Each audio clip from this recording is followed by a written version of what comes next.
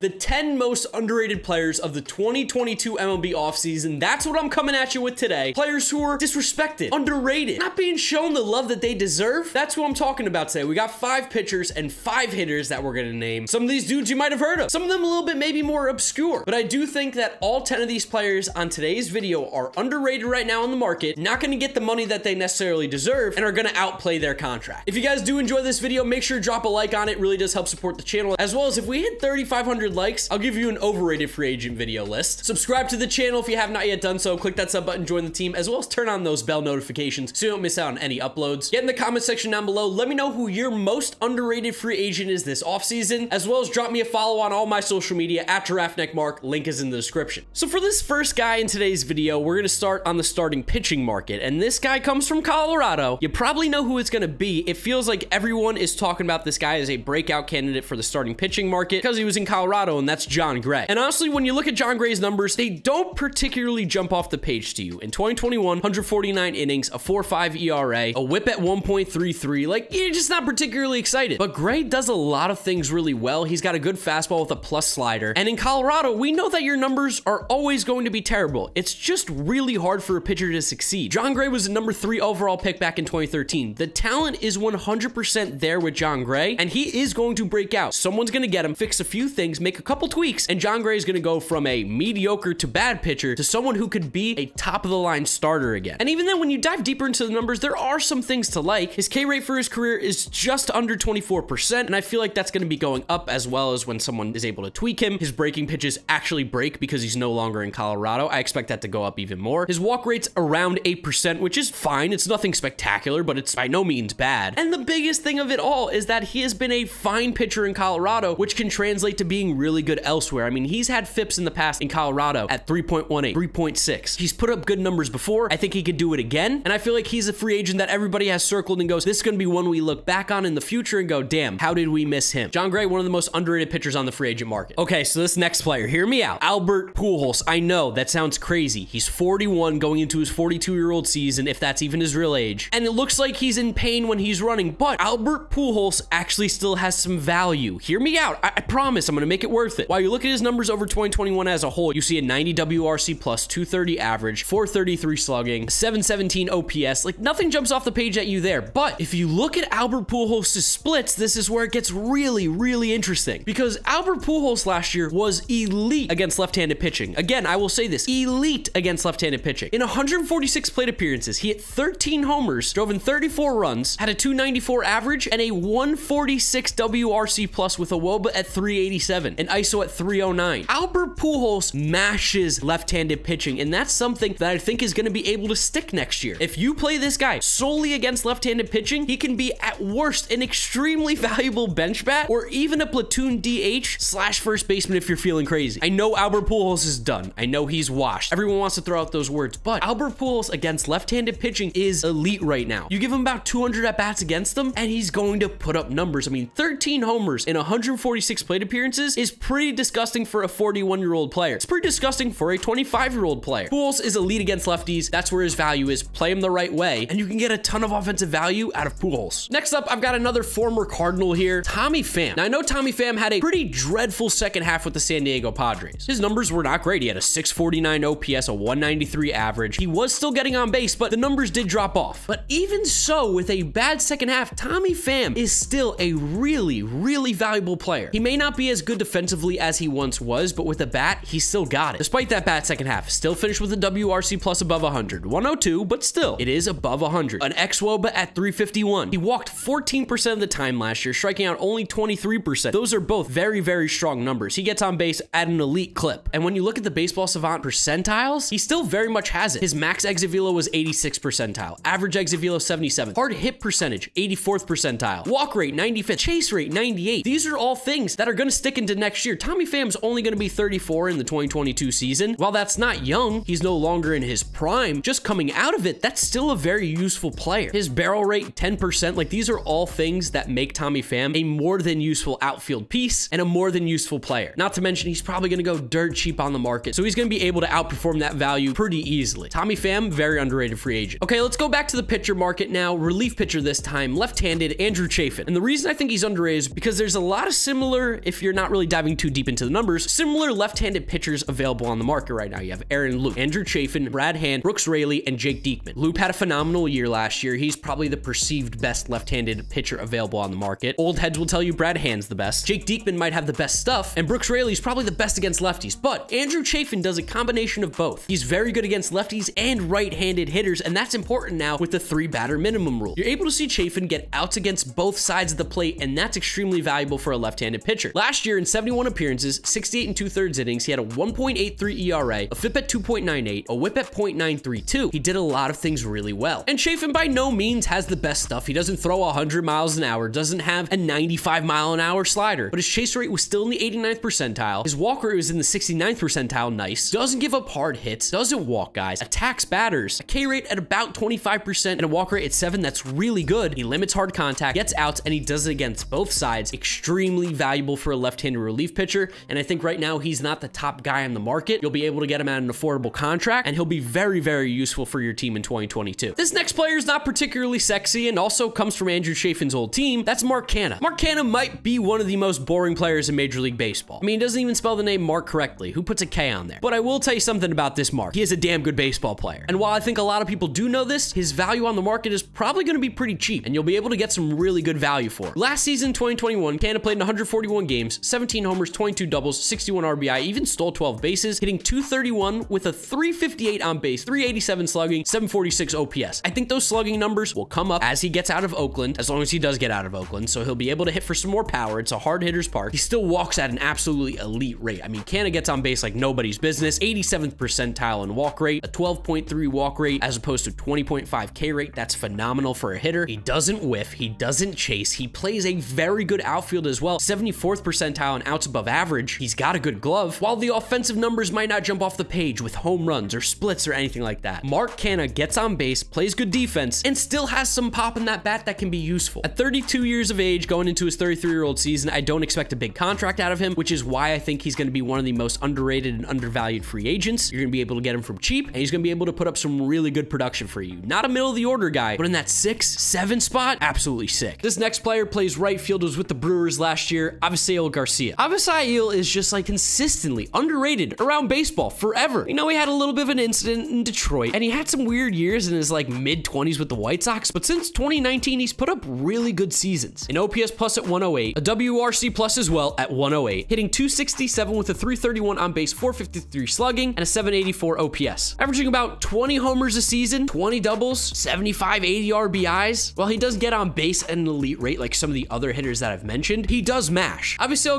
Garcia is like a weirdly good player, and I feel like because of his size, a lot of people don't realize he's also a great athlete. 6'4", 250, you don't think much of him, but he was 88th percentile in sprint speed this past year. While he does chase and while he does whiff, and his defense in the outfield can be a little suspect at times, but also can be good at times, it's a little all over the place. He hits the ball extremely hard, 98th percentile in max exit velo, 73rd in average exit a hard hit percentage in the 78th percentile, one of the highest barrel rates as well. Avisail Garcia has a spot on a team somewhere. He will have value, and in terms of his defense, DRS has him as a really good defensive outfielder. OAA doesn't necessarily agree, but according to DRS, he's pretty good. There's a world where Avisail Garcia is a very, very good hitter and a sick outfielder. Whoever picks him up, I think it'll be a great move. This next guy is super under the radar. Cardinals fans know about him, but I don't think the rest of the league does, and that's Luis Garcia. I'm not talking about the young one who pitched in the World Series or the guy in the Nationals. No, the 34-year-old relief pitcher on the Cardinals. Now, of course, there is some risk with signing a 34-year-old, but as a relief pitcher, he did a lot of things last year that were really intriguing and eye-opening. Garcia, for his career, has kind of hopped around. He was with the Phillies, the Angels, the Rangers, but he got to the Cardinals last year and figured something out because he had the best year of his career by far. 34 appearances, 33 innings, so not a whole lot of appearances or innings on the mound, but he did have a 3.24 ERA, a FIP at 2.7, a whip under one at 0.99. He struck out 9.2 batters per nine innings, only walked 2.2 per nine, which is huge because in the past he'd been like four or five per nine. Limited the home runs and limited the hits to only 6.8 hits per nine. He had a career best K rate at 25.2%. Again, career best walk rate at 5.9, which gave him a K to walk rate of 19.3, which is really good. Opponents only hit 198 against him. They weren't hitting the ball particularly hard, weren't barreling it up. He was able to get outs, be very effective, and he throws absolute heat. The dude can touch 100 miles an hour on a sinker. That's gross. So for me, Luis Garcia is going to be dirt cheap. I can't imagine he gets any sort of lucrative contract whatsoever, and this could be a guy who could slot into a pretty deep bullpen and be extremely effective. He's not there to be be your guy to get the biggest outs in general, but you can get some serious value out of Luis Garcia for extremely cheap. Let's talk about Trevor Story because we all know that Trevor Story is a good player, and normally good players don't really get considered underrated. But because of the free agent market right now with guys like Corey Seager, Carlos Correa, even a Marcus Semien, Kris Bryant, I know he's not a shortstop, but similar kind of players in that they're both offensive who could play infield spots, even Javi Baez. But especially with this market right now, and especially for hitters, I mean, some of the names you'll throw out there Chris Taylor, Carlos Correa, Marcus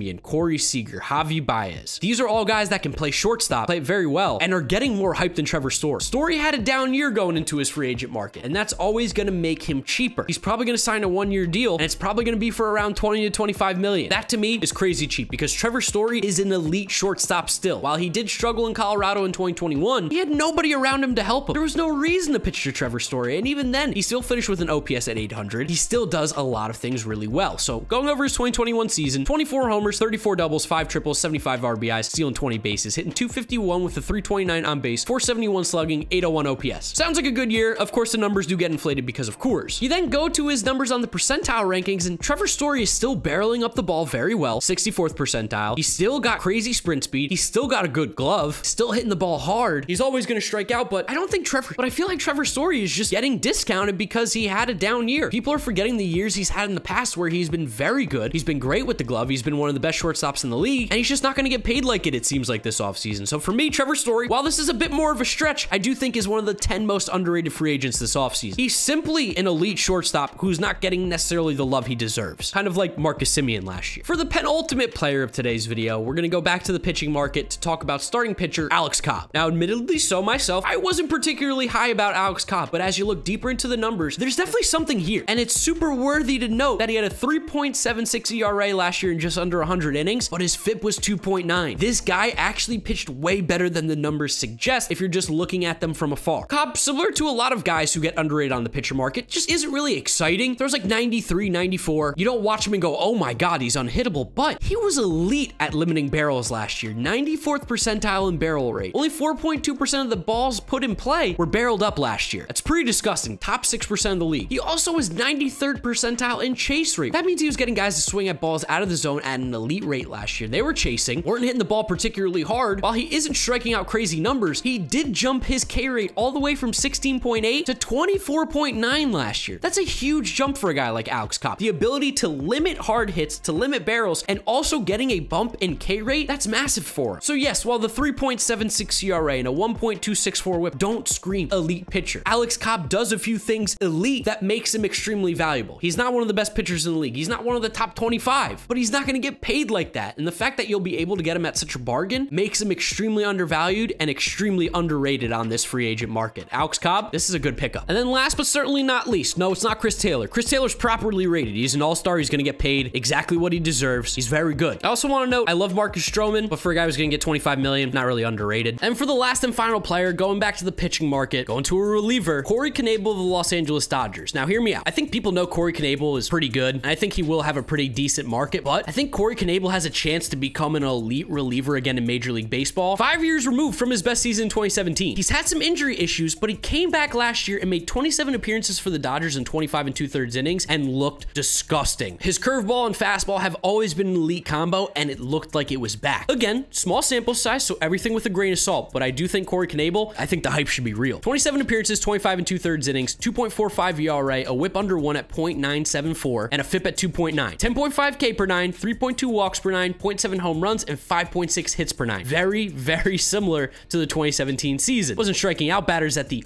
unreal rate he was doing then, but he is still doing things really, really well. When you look at his barrel rates on the season, 4.8%. That's disgusting. Even three barrels last year. Again, small sample size, very, very important, but he got his K rate back to around 30% at 29.7. That's really good for a reliever. Walk rate was the lowest of his career, basically at 8.9%, and his expected numbers even look good, like an xERA of 2.87, xWOBA 2.62. People were just simply not putting good contact on the ball against Corey Knebel, and it showed in his numbers. He looked really good for the Dodgers, and I do understand he's not the most underrated player in today's video, but I do think that he has value. He's going to be undervalued, and I think he'll be very good for a team next year as long as he stays healthy. Always the big question for Corey K. If he stays healthy, Knebel can be really, really effective for a team. So those are my 10 most underrated free agents of the 2022 MLB offseason. I'd love to know what you guys think down in the comment section below. I hope none of them sign. I'm recording recording this a day in advance. You can see, rocking the Knicks jersey, going to a Knicks game tonight. So I'm really hoping that none of them sign tonight when I'm recording this because I just won't be able to get a video out, as well as it kind of defeats the purpose of this video. But I'd love to know who you guys think are the most underrated free agents down in the comment section below, as well as drop a like on the video if you enjoy it. 3,000 likes, said 3,000, whatever it was. And I'll give you the most overrated free agents of the offseason. Subscribe to the channel so you don't miss out on any of the content. Follow me on all my social media, Giraffe Neck Marc links in the description. That's where I'm wrapping up today's video, guys. You know the drill from here on out. YouTube recommends you watch this video. This is my most recent upload. So click through those if you have not yet seen them. Thank you all for watching, and I'll see you all tomorrow for another upload. Peace out.